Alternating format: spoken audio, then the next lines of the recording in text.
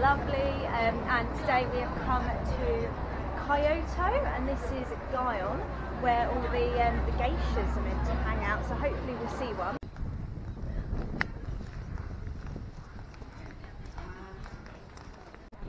We're in the temple, and looks like something's about to kick off.